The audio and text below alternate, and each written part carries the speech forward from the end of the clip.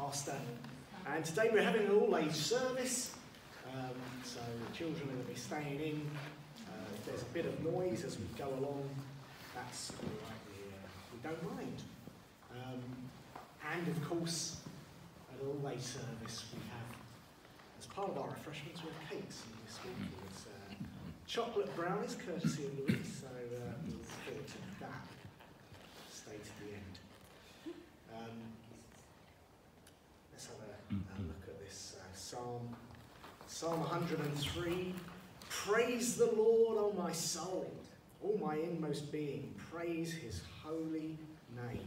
Praise the Lord, O my soul, and forget not all his benefits, who forgives all your sins and heals all your diseases, who redeems your life from the pit and crowns you with love and compassion, who satisfies your desires with good things, so that your youth is renewed like the eagles.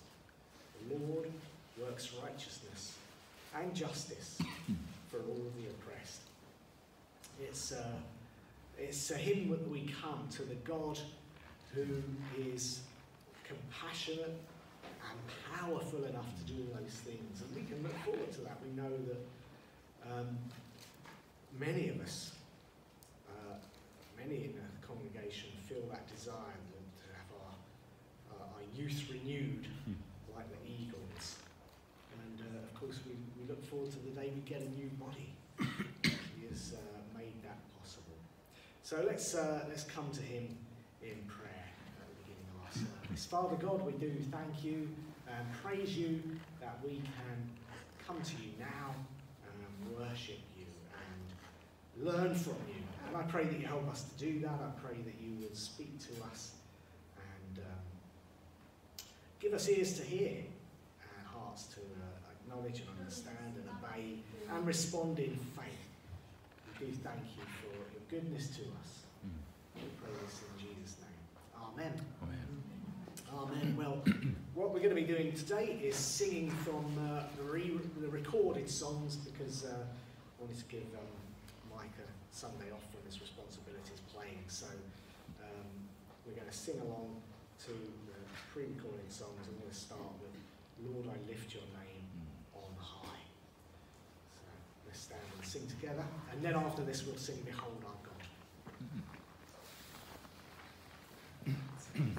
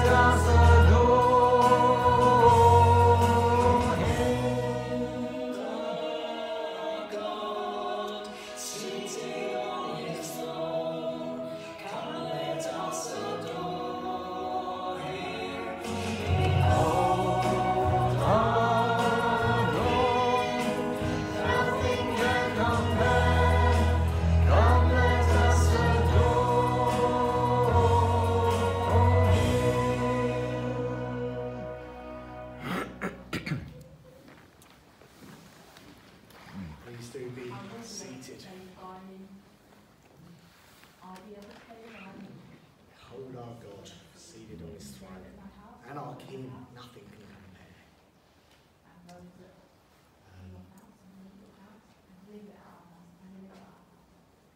so, a few notices to highlight.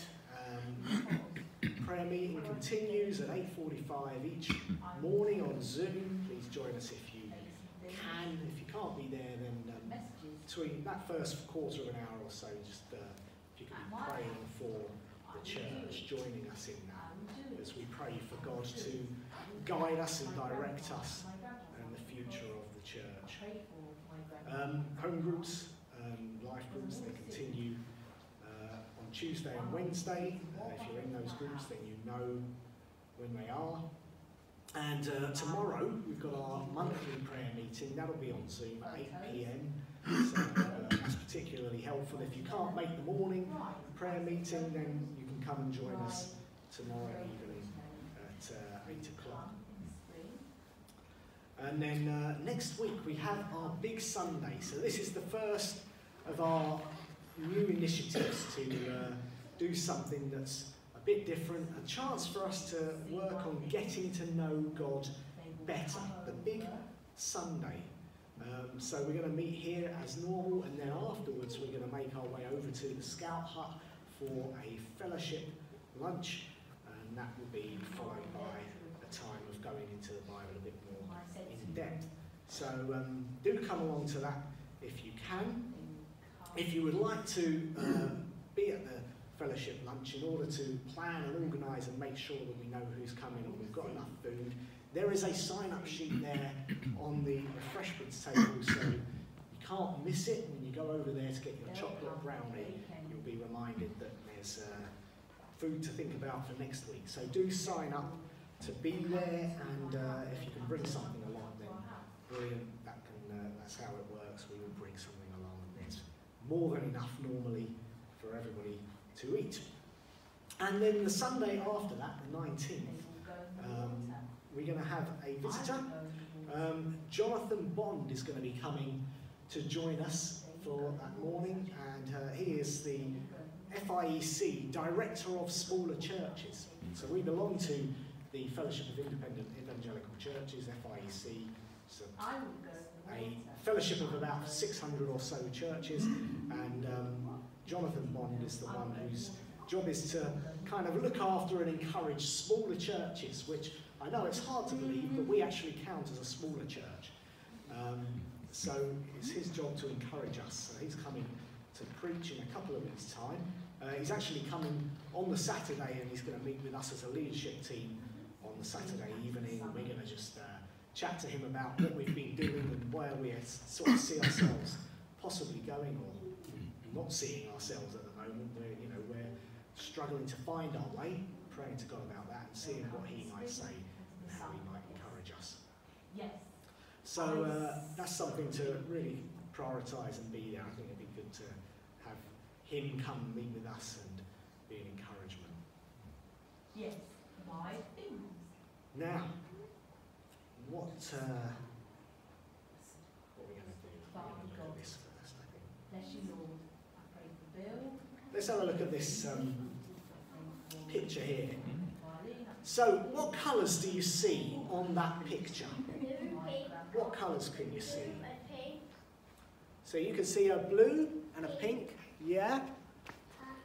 Blue, pink, purple, yellow. You can't see any yellow. Where's the yellow, Emily? Do you want to show us the yellow? Come up, come up here. Use my magic pen. Hang on. right. So, um, let's make, show us. Draw a circle on there where you see yellow. Hmm? Just there. So that's yellow. Who sees yellow? Oh, yes, there it is. You don't see yellow, Sophie. Green. It's green as well. Oh, that's It's green. Where's green? step above it. You see the green? Just above it. Perhaps if we turn some Do you want to circle the green?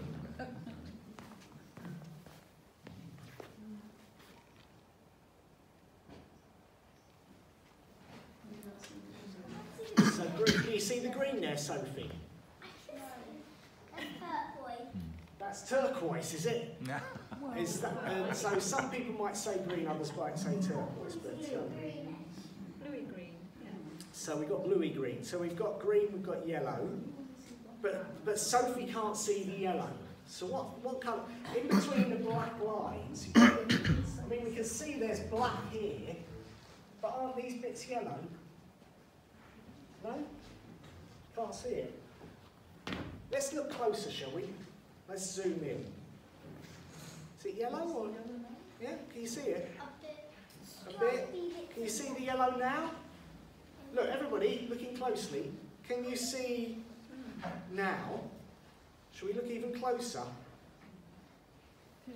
Where's the yellow gone? white, White. white and black. Have I changed the picture? I've just zoomed in. Actually, Sophie was right. You, thought, you all thought she was colourblind, but somehow her eyes see more true. And you, you turn, you come out, and it looks like it's yellow because of the trick that your eyes are played on by all these colours and the lines. It makes it look, but those that, that bit that's meant to be yellow or looks yellow, is white. Bizarre, isn't it? So sometimes we don't see what we should see, or sometimes we see things that aren't even there. We see yellow when there's white. right, we're going to read a bit of the Bible now. And Sophie's going to come and read to us. She's going to read uh, Mark 8, chapter, uh, Mark chapter 8, verse 20. No, she's going to read, that's wrong. She's going to read 22 to 26.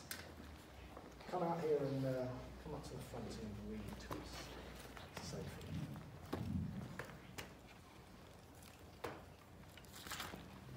They came to Bethsaida, and some people brought a blind man and begged Jesus to touch him.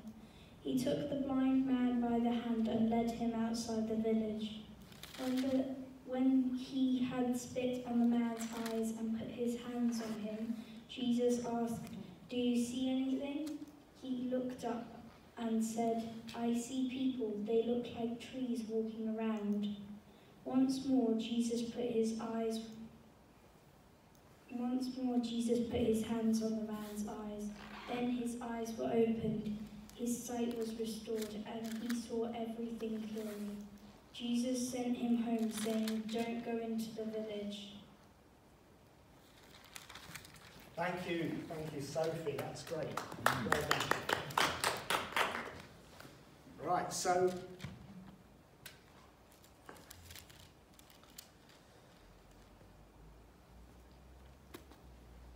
we've read a story, or Sophie's read us a story about a miracle. And the man could see, just like that. Or was it just like that? no, because it happened in two steps, two stages, didn't it? What happened? How did, how did Jesus heal the man? How did he do the miracle? Put his hands on his eyes Put his hands on his eyes, not just putting his hands on his eyes, and spat on his hands. spat. A bit nasty. Would you do? Would you like that if, you, if somebody spat and put their fingers in your eyes? Yuck. But eh, they thought of spit as having healing properties. Spit could actually help you and get better. We wouldn't think of it that way now because, well, it's just we just think of it as being a bit disgusting.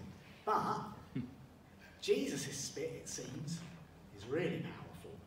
But maybe not powerful enough because what could he see? When Jesus spat, rubbed his, touched his eyes, what could he see? People. People, Trees. trees. He saw people, but they looked like trees. So maybe was that because Jesus wasn't powerful enough? Or was he trying to teach a lesson? You see, this is connected to a question that Jesus wanted to ask. First of all, he performed a miracle. Then he talked to his disciples and asked them a question. I'll read this bit. Jesus, so this is straight after that. It says, Jesus and his disciples went on to the villages around Caesarea Philippi. On the way, he asked them, Who do people say I am?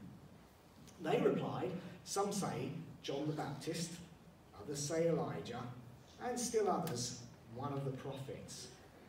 But what about you? He asked. Who do you say I am? Peter answered, You are the Christ. Jesus warned them not to tell anyone about him. Who do you say I am? That's the question that Jesus really wants to ask his disciples. And when he healed the man, it's kind of teaching us a lesson to go along with that question. You see, the question is about what you see of Jesus. Do you see him clearly or not? And the answer, well, the first thing to learn is that some people see nothing. Some people are like the man who is blind. They're blind to Jesus. You ask them who is Jesus, and they really don't, don't know. Or what they learn about him, it just doesn't seem to stick. Where were they? Well, they were in a place called Beth, Bethsaida. There, Bethsaida, and then that's where the miracle was performed. And then Jesus took them up to Caesarea Philippi. Just there. Caesarea Philippi.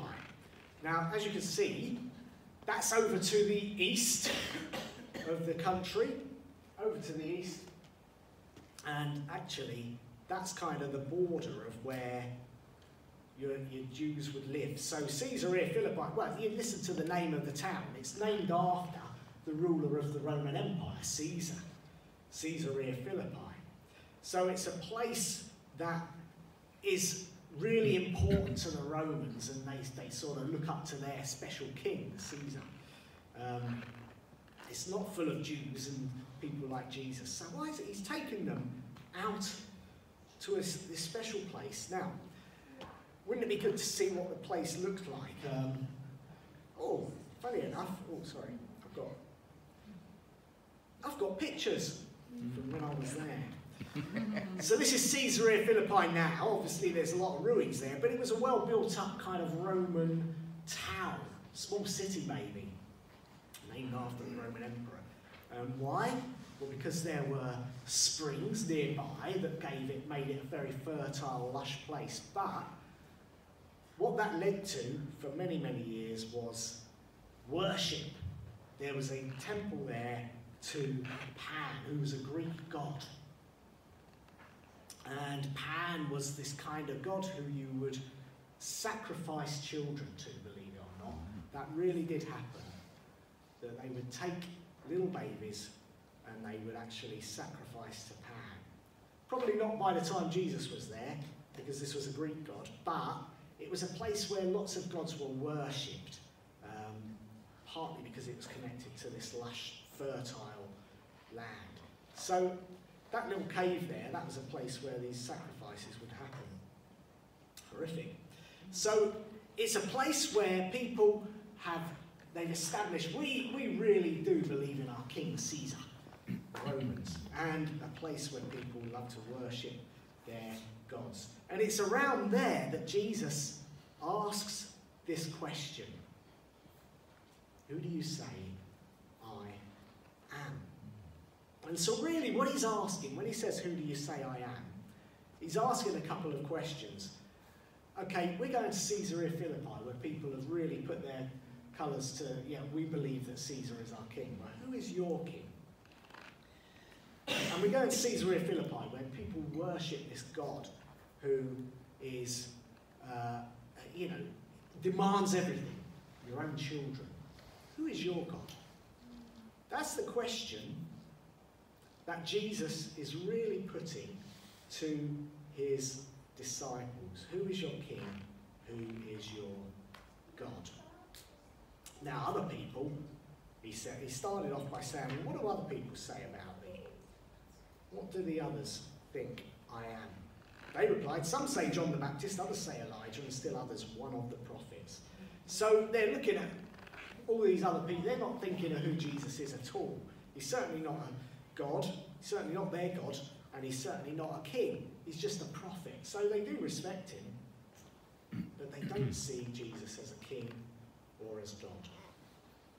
Many people today see Jesus as somebody who's interesting. He's worth knowing about, but don't we don't need to obey him. He's not like a king. We certainly don't need to worship him. Jesus is interesting, maybe we can learn something from his teachings. But let's keep him a bit more distant than all of that. So that's the first thing, is that some people, some see nothing. They look at Jesus, they don't see him at all. Right, what we're going to do is we're going to sing a song before we look at the next thing. And we are going to have one song with live music. And when I say music, I mean drums. We're going to sing the Hoo Cha Cha song. So, actually, should have put the uh, asking the other percussion instruments to come. But we're going to play it with the. I'm going to play this. So, let's all stand up.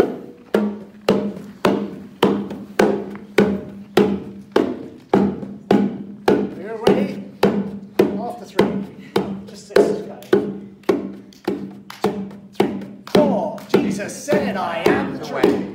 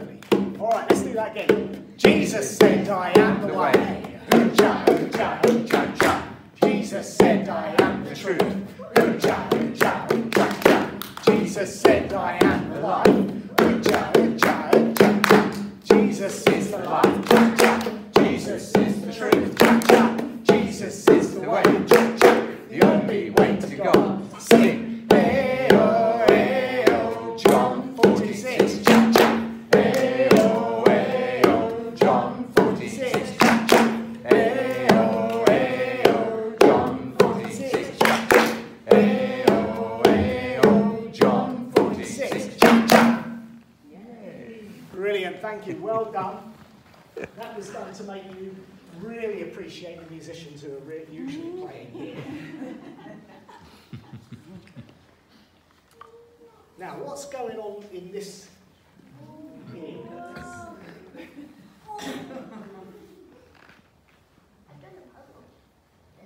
It What's reminds me of Cadbury's cream egg. It does look a bit Cadbury's cream. It's certainly got that Looks like purple it's and yellow. yeah. moving. What's, go- which way is it going? Or what way is This different? way. Oh, is there something moving? Around. Oh, you've got to keep watching it for Oh, no, I can't. I can. What's, which way is it all moving? So which bit's moving where? This is the right bit. The right bit No, is I can't. moving this. The diamond. This centre looks like it's going around. So the, the, bit, the bit in the middle is going that way, do you think? It looks, yeah. No, the bit out around the outs, the, the sort of se- next to the middle is going around that way, perhaps, and then is anything moving? Yeah, I can see the little bit. Only the centre, off and on. It's just a picture. It's not a video or anything. It's just a picture. But look at this design, so that as you look at it, It looks like it's moving, but it's not. It's just staying Oh, yeah, still. the other bit's moving now. Oh, I'll move. I'll tell before anybody gets um, a bit, a bit sick. All right. So, how many camels do you see? Yeah. How many camels can you count? Whoa. Oh. Five. Five, Six. six, There's six. six. Six. How about if you put? Okay, who wants to? Five. Emily, do you want to show us where the five are? Emily, do you want to show us where the five are? Put um, put um, a red dot on the each of them. Can you see? That's good. One, two, three, four, five. Okay. So that's brilliant. You've oh dear. You okay? Five. Okay, let's clear that. Let's um. Sophie, do you want to show us? You say there's six. Six dots.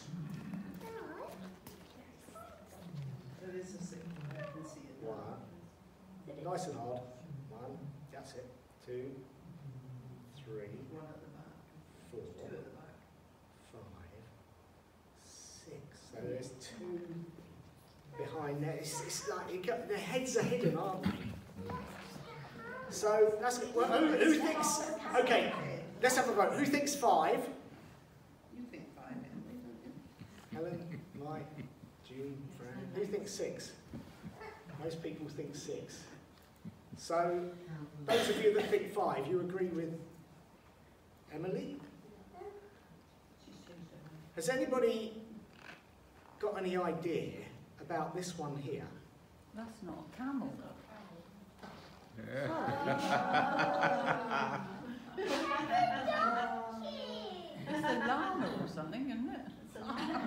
No, not a llama. A, um, I mean, one, one- one one thing we, we know it hasn't got, it hasn't got a hump. So what do we know it certainly isn't? It isn't a camel. So is it a llama? Is it a... It's a llama. A lot. long enough neck. It's the, yeah, I mean, llamas do have very long necks, don't they? It looks like something. I think what it is, is just uh, something that's put there to throw you off. Yeah. So I, I think I would go with Sophie's in that I think there are two kind of where you can't see their heads and they're hidden. So you've got two there. At the, these two here. One, two, three, four, five. So I would say there are five camels, which is what Emily said, but the five are the ones that Sophie saw, if you know what I mean. So you have to look. Sometimes you see things that other people don't, but even then, do you see everything that you need to be able to see it as clearly as you need to be able to see it? Well, let's. Um, some people see nothing, but some people do see something. It's a two-stage miracle, you see. Um, they came to Bethsaida, and some people brought a blind man and begged Jesus to touch him. And it's interesting, there's this group of people who care about the blind man. Do they care about the blind man? Or do they care about seeing a miracle? But there's this blind man, and there's a good picture for us. A blind, a pic, a, the blind man, the healing of the blind man, is a picture for people who are blind to Jesus. And he took the blind man by the hand and led him outside the village. You see, Jesus is not interested in putting on a show, he's interested in showing compassion to people. And when he had spat on the man's eyes and put his hands on him, Jesus asked, Do you see anything? He looked up and said, I see people. They look like trees walking around. So he's healed him partly. Not because Jesus can't heal him completely. It's not that Jesus lacks power. It's that he wants to teach a lesson. And it's what follows on next when he talks to the disciples. Who do you people say I am? Some people say this, some people say that. Well, then he says, What about you? Who do you say I am? Peter said, You are the Christ. Peter sees Jesus as Christ. Now, what does Christ mean? Who's.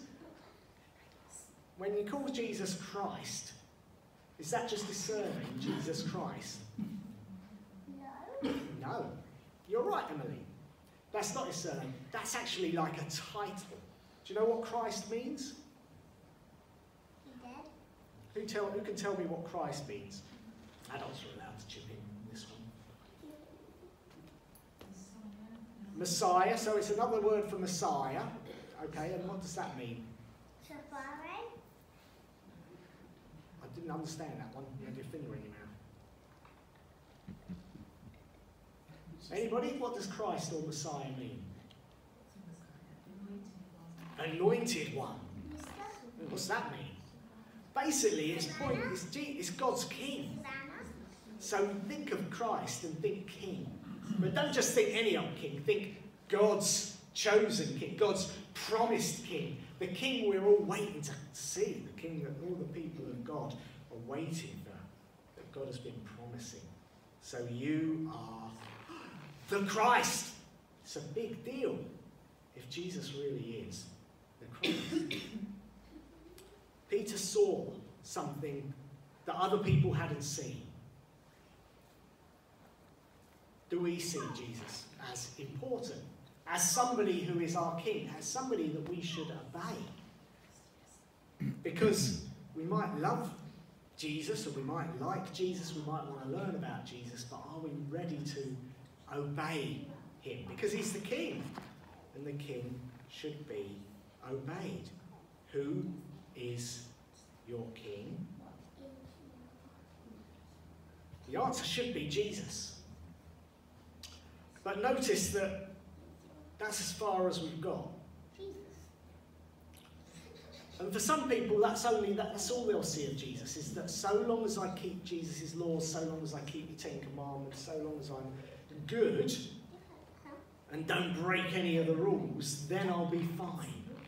Because Jesus is only a rule making leader to them. So long as I go to church, so long as I pray and read the Bible, then I'll be all right. But have we understood that Jesus is more than just a king? He is somebody that we can have more of a relationship with. Who is your king? Is it Jesus? But there's also this question who is your God? Well, we're going to sing again. We're going to sing, oh, and we've got music, not just drums for this one. Um, so we're going to sing, stand, stand sing, oh, praise his, praise your name.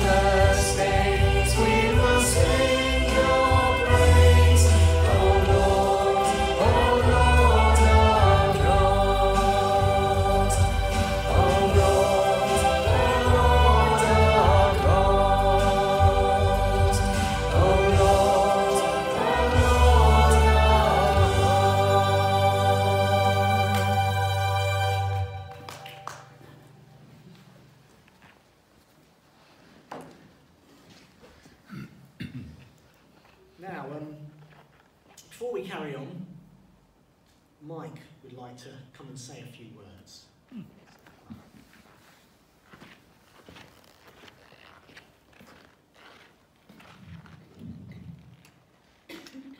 Hopefully I'll hold it together. If I crack, you'll have to bear with me. Um, first of all, I just want to say thank you to everyone from the family and myself for your prayers, for your kind words and you offers of support. It's been a great comfort and, and strength to us uh, during this time.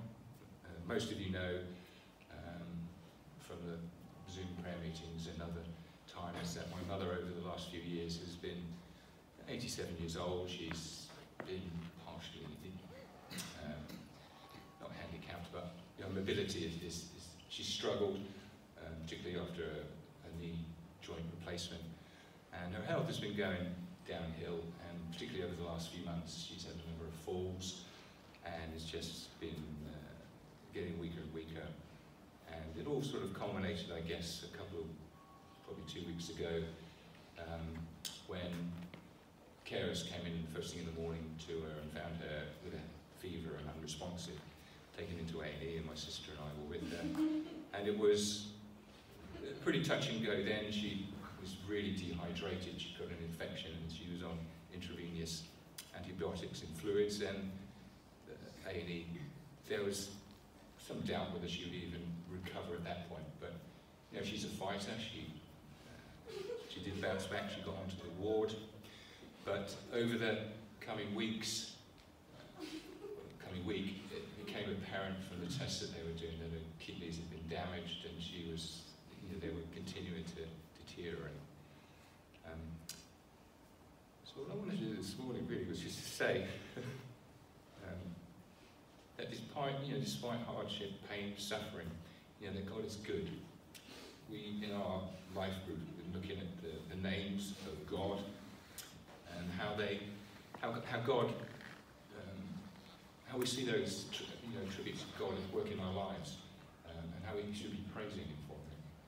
And the one that really, uh, over the last few days, that's really come to me is the Jehovah Jireh, uh, God our provider. And group, we saw that God our provider doesn't really encompass everything that the original language you know, it translates because it's, it's more than just a provider. It, it, talks about the God who goes ahead of us. So he's preparing uh, things in advance. And Jesus himself you know, said that he went uh, to prepare a place for us. You know, this um, making, you know, this just getting everything in order for us. And just particular things that have happened over the last few, few days that where I've just seen that evidence. And I was having a conversation with, with Colin on I think it was at the um, Tuesday meeting that um, you know my mother was dying basically. You know, there was no chance of her recovery and um, I didn't even know if she knew. And visiting her most of the time she was asleep when she was awake she'd be confused sometimes didn't even recognize me and how do you you know I guess I wanted the assurance that she was going to be with God and, and her faith where she stood. And I said I don't even know how to bring that conversation up. You know, it's such a difficult thing. How do you tell or have a conversation with your own mother when she's dying? Do you know you're dying? And are you right with God? Well, that very afternoon, she had a, a lucid moment, and I was with her.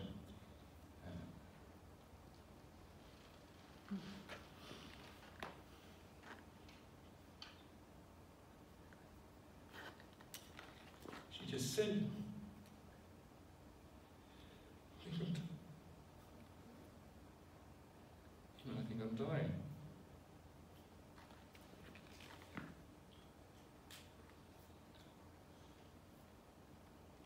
And I was able to say to him, well, if you think you're dying, have you made peace with God? She said, yes. She said, I'm ready.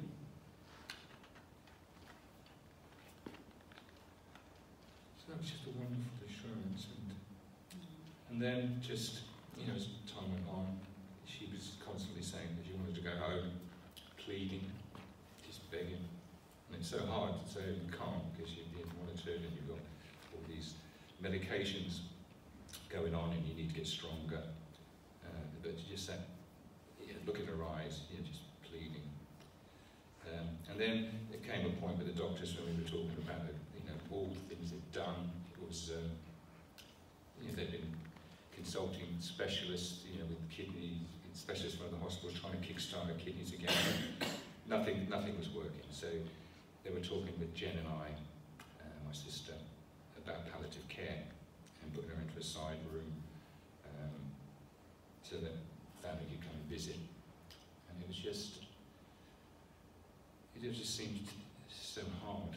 And then there was a, um, discharge, um, integrated discharge team, whatever she was, was called, um, lovely, lovely lady.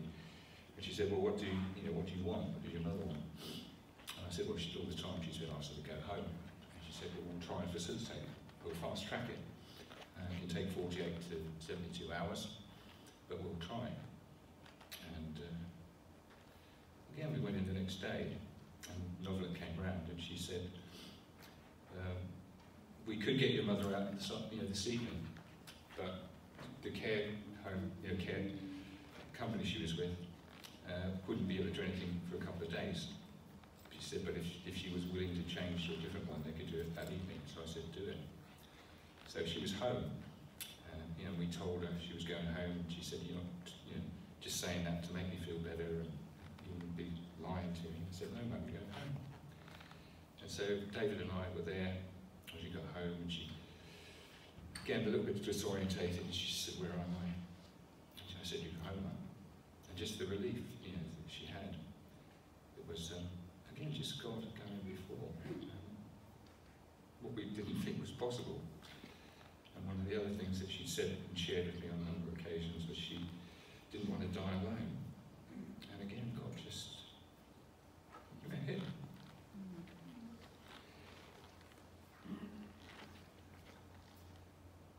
So, God is good.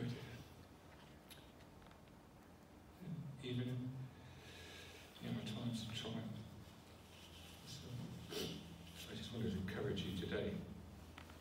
You know, he is. God is there.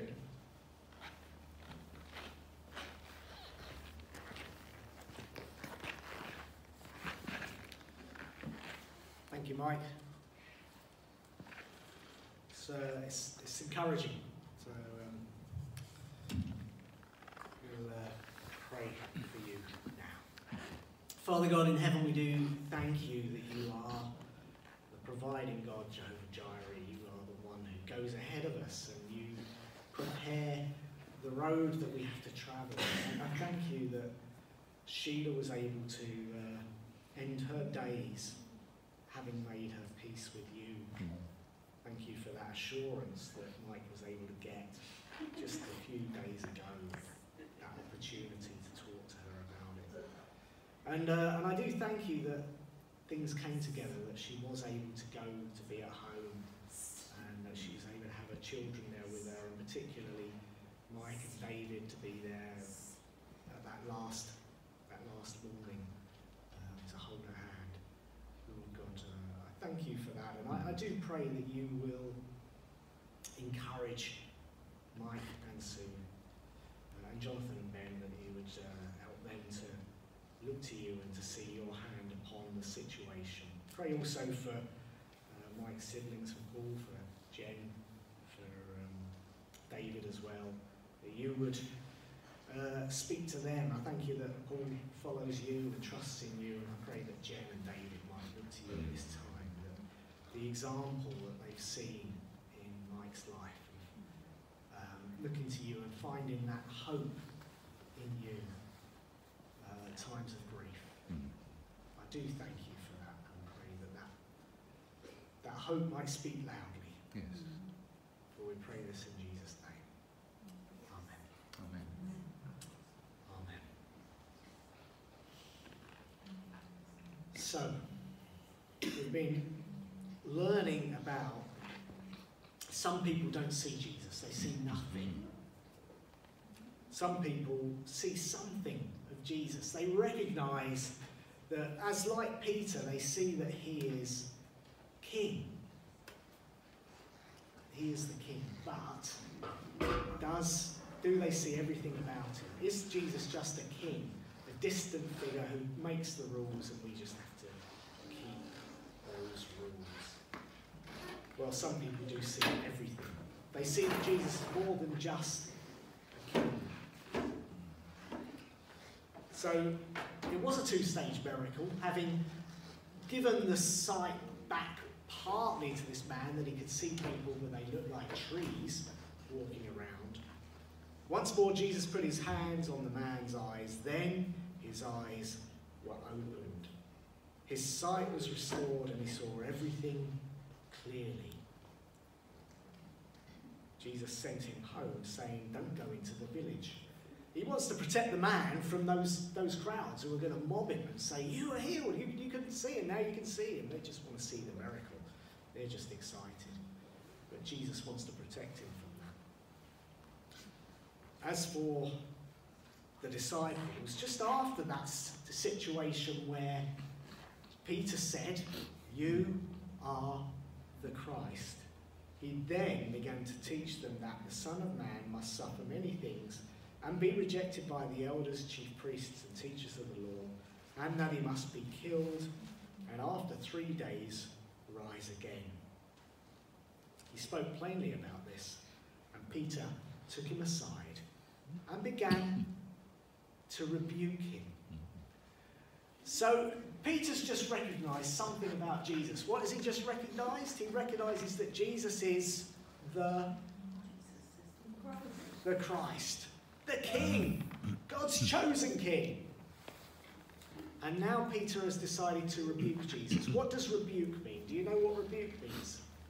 No idea. What does rebuke? Anybody want to tell us what a rebuke is? It's a telling off. It's like, who do you think you are? You should stop doing what you're doing. That's a rebuke. Do you ever get rebuked? Maybe. Do you ever rebuke your mum or dad? No. You're thinking about it. What a good child you You are. think a bit, yeah, maybe. Yes, sometimes. No, no, never. If you met King Charles III, would you rebuke him for something? No. No. You would be very cautious about rebuking the king. If you met Jesus, would you rebuke him? No. So Peter, who has just said, You are the Christ, is now telling Jesus off. He's saying, Don't talk like that. All this stuff. What's, he, what's Jesus said that's been so upsetting? Jesus began to teach them that Son of Man must suffer many things, be rejected. Chief priests, teachers are law are going to turn against him. That he must be killed. And after three days, rise again. It's all there. But Peter says, No, Jesus, don't say such a thing. It's wrong. You're wrong. What does Jesus think of Peter's rebuke? When Jesus turned and looked at his disciples, he rebuked Peter. He gave to Peter a telling off. Get behind me, Satan. He's saying the devil that's making you talk like that. So it's a shocking thing, really. On the one hand, he sees so much. But on the other hand, he's, he's being, he's, it's like the devil's taken him and made him say things that he shouldn't be saying. You do not have in mind the things of God, but the things of man. He doesn't see everything. Does he recognize that Jesus is more than just a king, that Jesus is in fact God? Who is your God?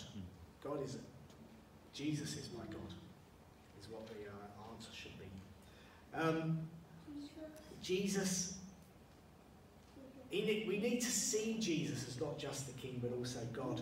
And a God who not just this stayed in heaven passing out the rules, but the God who loves us, the God who came down, the God who was willing to sacrifice. Jesus died on the cross so that we could be forgiven.